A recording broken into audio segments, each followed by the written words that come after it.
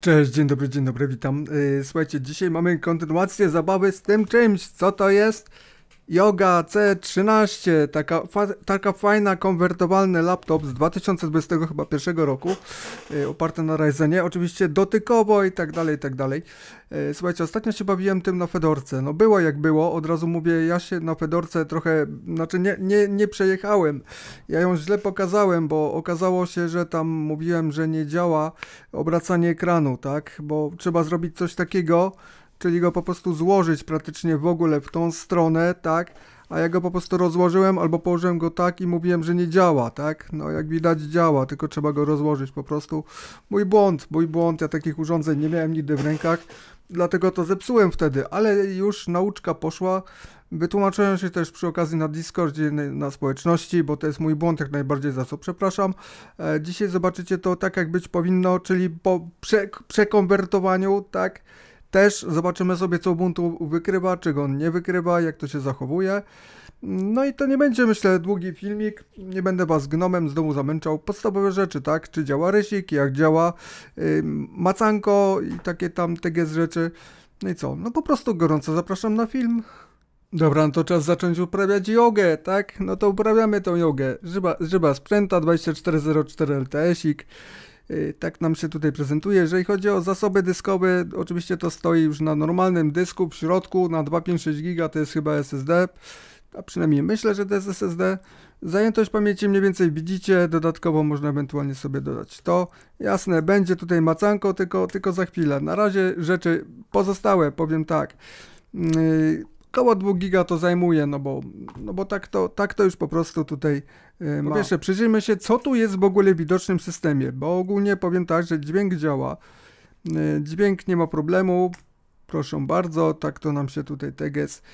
Sharkun Technologies Mini Keyboard, to jest ta klawiatura wbudowana, tutaj nic na zewnątrz nie ma.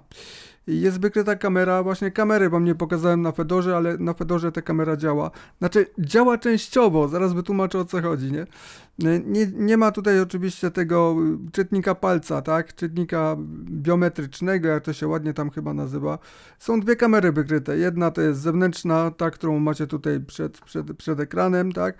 No i druga, która jest tak jakby odwrotnością, czyli jak go przekonwertujecie Y, to po, potem wam pokażę, jak zrzu zrzucę obraz z zewnątrz. No ale dobra, przejdźmy sobie do rzeczy ogarnia do ogarnięcia. Y, po pierwsze, w Fedorze jak opalałem tutaj aparat, to niestety pisało, że nie ma kamery. A tu kamera działa. Znaczy, działa druga kamera. To, to jest właśnie kamera nad klawiaturą. To jest najśmieszniejsze. W Fedorce w ogóle nie wykrywało mi tutaj kamery. Y, to jest oczywiście sesja Wayland. Nie wiem, czy da, da się przełączyć tą kamerę na drugą. Preferences. Tu chyba się tego zrobić nie da. Y, no, ch chyba nie, bo nie wiem, może tu jest jeszcze kamera jakaś, zobaczymy. Nie, no to jest, to jest nagrywanie. Może to? Może to, to, może to jest to, właśnie. Błąd programu systemu. Okej. Okay. Okej, okay. no i to by było na tyle, jeżeli chodzi o, o, tego rodzaju rzeczy. Odpalimy to jeszcze raz. Aparat w ogóle tutaj na Fedorze też, no tak jak mówię, tam był, o teraz działa. Stabilne Ubuntu LTS. No dobra, że nie będę czepiał, bo to jest Chromebook. Na tym nie powinien Linux w ogóle działać, bo to nie jest system, to nie jest laptop przeznaczony do, do innych, tylko do Chromebooka de facto, tak? Że na tym Pingwin działa, to spoko, nie? A że są na tym takie problemy, jakie są, no widzicie, kamera działa. Kamera jest ok. Nawet, nawet jakiś ten obraz sensowny jest. Yy, więc spoko. Nie, nie wysyłaj. Ja bym to odpalił, o, nawet działa dalej. Ja bym odpalił tutaj VLCK, też będzie działać i on się już nie zawiesi, obiecuję. E, dobra, czyli kamerę mniej więcej mamy sprawdzone. Czytnik palca nie działa. Klawisze funkcyjne oczywiście nie działają nigdzie, tak? Nie działają ani w Fedorze, ani tutaj. Te na górze co są do przyciszania i tak dalej, i tak dalej, to, to niestety nie, nie hula. Cała reszta systemu działa no, no prawie poprawnie, tak? Jeszcze sprawdźmy sobie tą sesję. Już nie chce mi się szukać komendy, jak się sprawdza, czy to jest Wayland, czy to nie jest Wayland. Tak, dokładnie. Tu jest jeszcze potwierdzenie tego, y, tego wszystkiego. To mamy sprawdzone, czyli tak, mamy sprawdzoną jedną, drugą kamerę, działa. To, że się tam wyłożył gnom, to mniejsza z tym.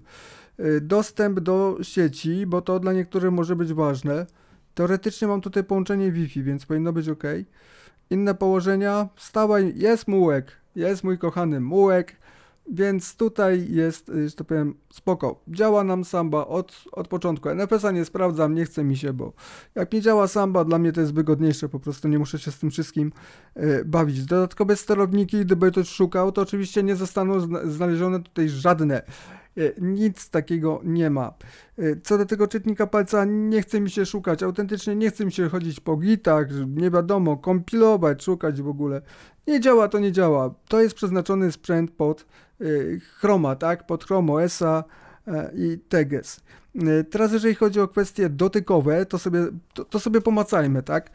Znaczy, no dobra, przełączę na zewnętrzną kamerę, bo to tak, tak to będzie dziwnie wyglądało, nie? Dobra, mam zewnętrzną kamerkę tutaj, no to zaczynamy zabawę. Mamy furę Foxa, yy, odpalmy sobie jedną rzecz tutaj, odpalmy sobie jeszcze sklepik do kompletu. Dobra, jest ok. No i teraz tak. Przejdziemy sobie tutaj. Ok. Yy.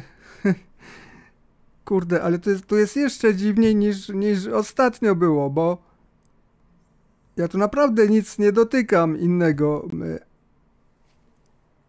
Nie wiem, co się dzieje, szczerze mówiąc, ale e, no, w Fedorze chyba było trochę lepiej, tak szczerze mówiąc. No nie da rady. Sorry, nie, nie da rady. Po prostu nie da rady. Nie wiem, nie wiem. Y, spróbuję jeszcze na X11 potem wam pokazać. No to samo się dzieje. Może się gnom właśnie zepsuł. Gnom się chyba zepsuł. To przerestartuję to, to cudo. Dobra, logujemy się do systemu. Logujemy się do systemu. Znaczy próbuję się zalogować do systemu. Ja, ja odpinę, od, odepnę myszkę, żeby nie było, że myszka przeszkadza. To, to, to była myszka, powiem to tak. Odpalam sobie tutaj pliki, bo chciałbym tego tak powiedzmy poużywać, nie? Tak, gnom się zbagował, chyba. Znaczy... Yy, no, teraz nie mogę w ogóle tego, że to powiem, yy, do, do, do boku ekranu dać, nie, nie daje się, do góry też nie zresztą. Yy, no okej, okay, no widocznie ta funkcjonalność na GNOME nie działa, tak? Dziwne, bo przedtem działało, a teraz już nie działa. Zawsze mogę spróbować dać pełny ekran. No okej. Okay no trochę to jest tak, tak, no, no nie teges, nie, znaczy mogę spróbować zrobić to, co zrobiłem wczoraj, tak, czyli odpalimy sobie jakąś aplikację na innym, na innym ekranie, tak jak się powinno na Gnomie pracować, jak to pokazywałem wczoraj w filmie, nie. Wiecie, powiem to tak, kurde, że mm, jak używałem tego zewnętrznego ekranu Electro dotykowego, to był chyba 13 cali, nie pamiętam, wiecie o którym mi chodzi, tak? E, I tam występowały błędy na GNOME, to pomyślałem sobie, no kurde, to, to jest powiedzmy no w miarę tani chiński panel, tak? Może to nie jest cud techniki, on był na USB, jest na USB. Może to jest tym spowodowane, dlatego że GNOME tego nie ogarnia do końca. A jeżeli ja próbuję teraz na kolejnym sprzęcie mm, używać ekranu dotykowego z GNOME i dzieją się takie same rzeczy albo jeszcze gorsze, niż, niż ten, no to, to naprawdę GNOME teoretycznie jest reklamowany jako system do dotyku. Po to ma takie wielkie tutaj to e, paski górne, tak, żeby można było to złapać. No, no niestety, no, no, no jest jak jest. No dobra, zrobimy inaczej. E, robimy to tak, jazdę stulecia, konwertujemy sprzęta. Ok, mamy go skonwertowanego, tak? Ja to dam troszeczkę szerzej. Ok, trochę oddaliłem, mam nadzieję, że teraz będzie lepiej. Dobra, spróbujmy to teraz popracować w takim, w takim trybie tutaj. Bo ogólnie sam się ładnie... O, klawiatura się nawet odpaliła, spoko. A tutaj działa. o masakra. No dobra, no... Nie, mam nadzieję, że to w miarę dobrze widać, tak? Bo tam trochę rzeczy się będzie odbijało, no ale trudno. Odpalamy jeszcze raz Purepoxa. On się odpala w taki dziwny sposób, no dobra. Y, ale dlaczego on się zamknął? Ja chcę go tutaj y, poszerzyć. Dobra, jest poszerzony. Klikam raz, nie ma. Klikam sobie dwa razy. Odpala się klawiatura ekranowa. Już jest fajnie. Y, dajmy sobie wp, gdzie tu jest p.pl, tak? No i działa. Jeżeli chodzi o takie rzeczy, spoko, można sobie tutaj ładnie popracować jak na tablecie. Bardzo przyjemnie się na tym pracuje. No, no nie, nie mówcie, że nie, tak? Bo jest, jest ok czasami nie reaguje, powiedzmy, ale to mogą być moje paluchy, które nie są za bardzo teges. Na opartego można sobie coś tam popisać, aby ktoś miał taką zajawkę. Jest ok, jest spoko, powiem to tak. E, teraz weźmy go sobie w ten sposobik, dobra, obrócił się, jest w porządku. E, tutaj mamy w porządku pulpity.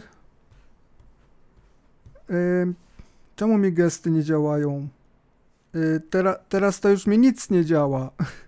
Mm, a myszka jest niepodpięta. No dobra, obrócimy go jeszcze w ten sposób. Obracanie działa, czyli jest spoko. Ale przestaje działać tutaj pasek. No po prostu pasek właśnie się zbagował, chyba, chyba...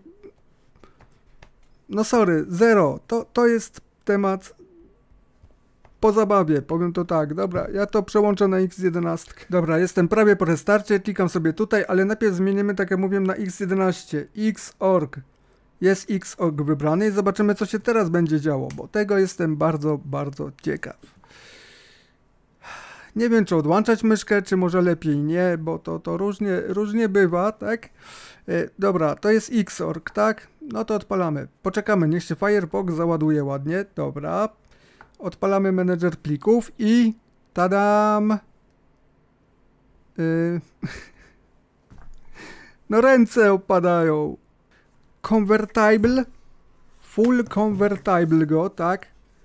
O, tyle się... No już jest dobrze, bo coś się obróciło. Dobra. Y, tylko, że... o, co, coś zaczęło działać, przepraszam. Coś zaczęło działać, może to te reklamy tak powodują, że, że to, to idzie sobie do RTV-ki na zakupy cały ten gnom na przykład, no. No, no nie, nie. O, jest taki malutki kursorek i ja mogę sobie, o, o, o teraz zaczęło działać. Dlaczego zaczęło działać? Nie wiem. O! O, o, o.